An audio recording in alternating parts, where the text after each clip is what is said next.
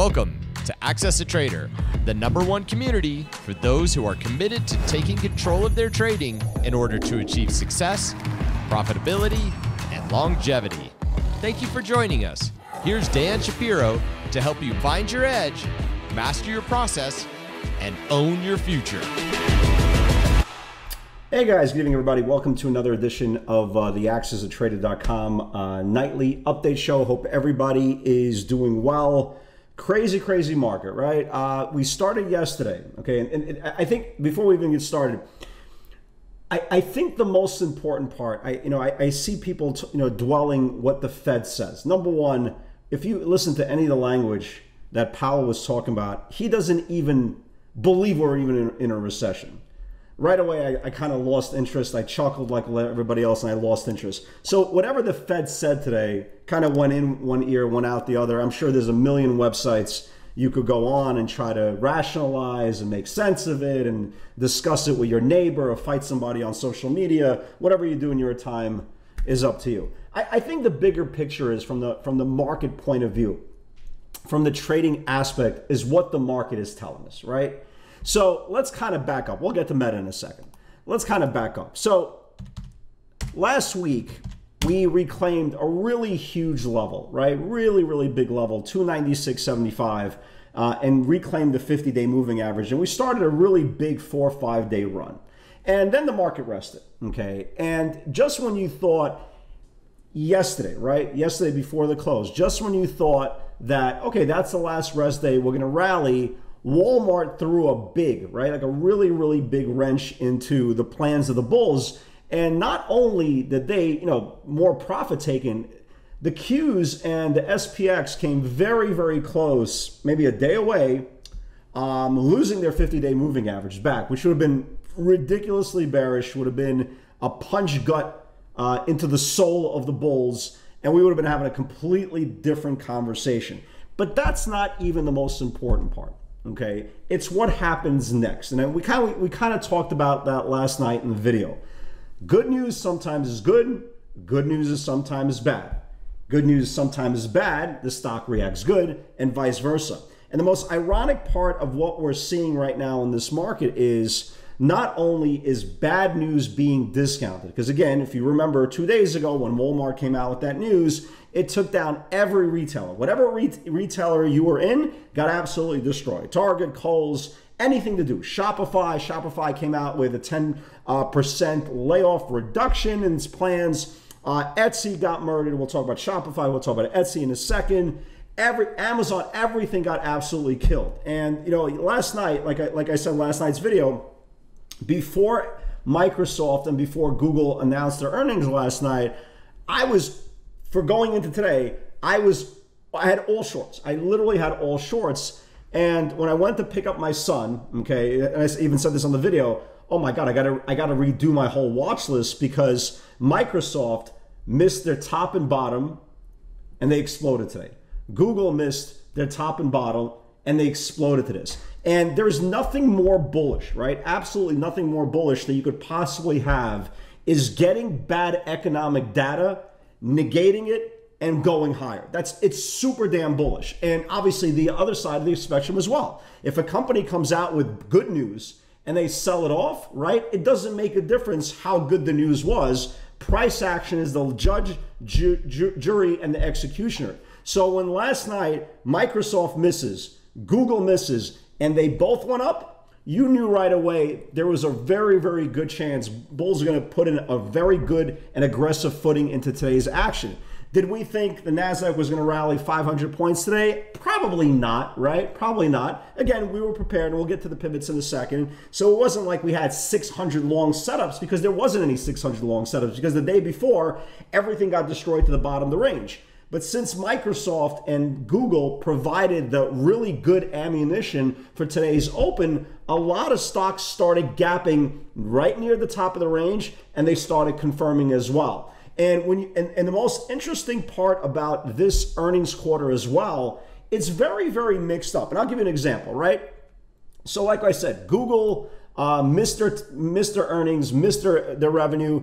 Google exploded that, right? Absolutely exploded. And It's probably one day away. I still like it above this range here. It's probably one day away from reclaiming the top of the range. Then it could go on a very, very big run. So it kind of cleared out a lot of the, the, the trees in the forest today and stopped right at the supply zone, which is fine, okay?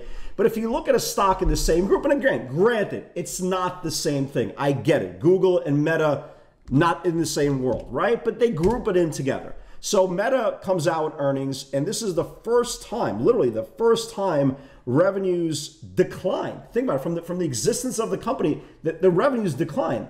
And ironically, they brought down the stock and almost got it green in the day. They came away with like a dollar and change for going back into green in the day. And it's and again, it's one of those situations that, well, I don't get it. Google missed their, their, their numbers. Why did the stock explode? Well, I don't get it.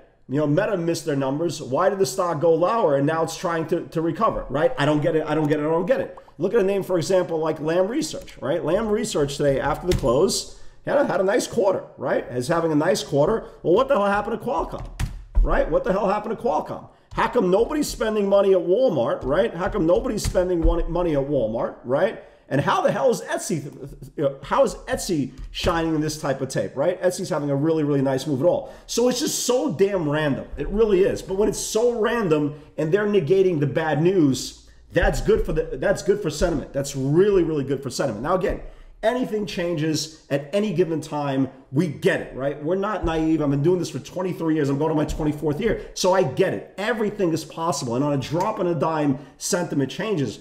But when you get such a very, very aggressive statement, especially last night uh, with the Bulls, with Microsoft, with Google, right? With Shopify this morning. You know, Shopify came out with earnings. They sold it off two dollars at the you know two dollars right away. They missed their earnings. Look what happened to Shopify, right?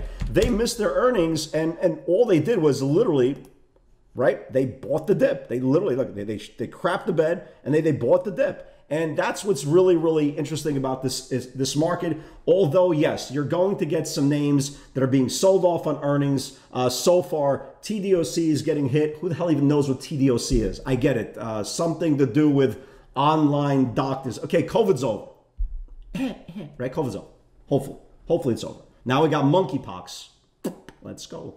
Right? So you got TDOC moving lower. You got a BBBY uh, going lower. We got Qualcomm going lower. But the most important part is the stocks that had pretty decent numbers or didn't disappoint, they're starting to go higher. So when you look at tomorrow's earnings, for example, right? And today you had some pretty big moves. Again, we talked about Etsy, uh, Lam Research, uh, even Ford, right? It shows you the strength of quote unquote the, the economy. Maybe maybe this is why Powell doesn't think we're in a recession. Hey, people are buying cars, right? People, for some reason, are not spending money on Walmart or Target, but yeah, they're buying cars. Okay, that's cool. No recession. You heard it from Powell first. I didn't make it up, so don't shoot the messenger. So the most important part is tomorrow. Let's see if the Bulls can get it going, right? You got Apple tomorrow, right? You got Apple. You got Amazon tomorrow. You know, Amazon has not had great quarters of late. Now the question is, is it going to mirror what Walmart is saying, or is it going to mirror what Etsy is saying? Right? We don't know what what what, uh, what Ford is saying. We don't know.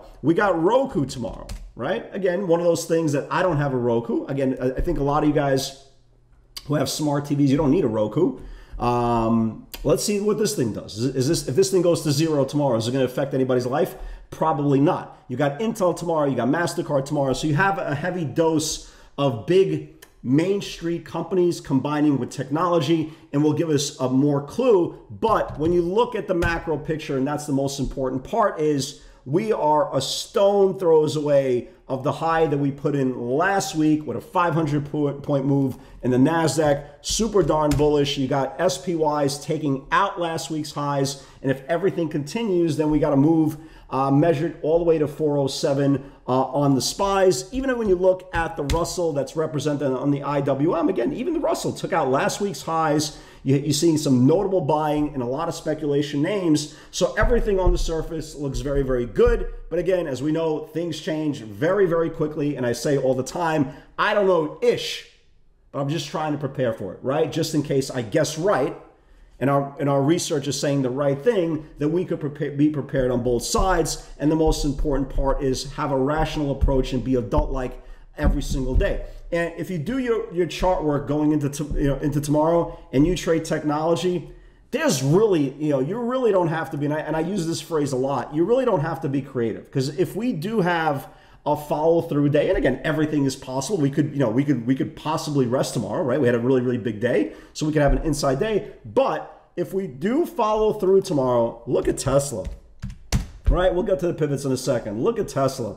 We're one day away from challenging earnings highs. Look at Amazon. Amazon is reporting tomorrow. If it could confirm the five day tomorrow, maybe it runs, you know, runs into earnings. That looks really, really good, right? So keep an eye on that. Google, I think it's one day away, or maybe two days away. Maybe needs a rest to getting above this top of the range here. If it could get above this top of the range here, you got 120 uh, looking at you straight in the face. So you know we, we, we got some good stuff, man. You got Nvidia that's probably going to uh, that's probably going to benefit from the Lam Research earnings. Uh, we want to watch the top of the range. A lot of really good aggressive call buying coming in, but again, it's very very tough to get excited about Nvidia option players because Nvidia option players, if you guys remember, were going nuts last week into buying the 160 puts.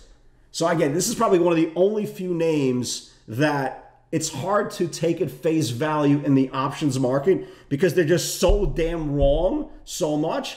But a name like a Tesla, if they're betting, and again, they're betting 840s, 850s for the weeklies, that's a pretty good sign. There's a high probability the stock has a puncher's chance of getting there. So let's talk about it, right? So here was Tesla. You know, Tesla, again, finally woke up, right? Finally woke up here.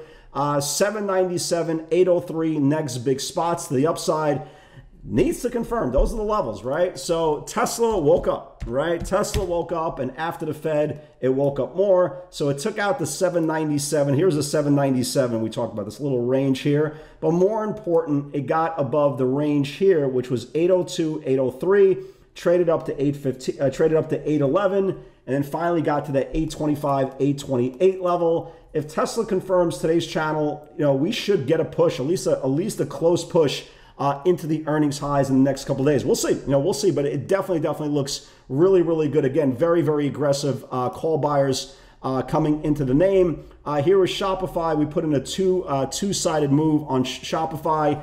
32 to the upside, 30 and a half to the downside. Again, what's cool about pivots, you don't need to guess. You don't need to have an opinion. Just wait for one of the channels to confirm. Shopify, although the first move was very, very small and it was a little cash flow move, the point is both ranges were in play. It took out the 32 level, closed, you know, closed over 35. Really, really strong move on Shopify. I tried Nike, never did anything. CRMRX, I put in a couple of smaller cap names. They didn't confirm. Vizio didn't confirm. Again, Google, here it is. Uh, Google, 10 and a half.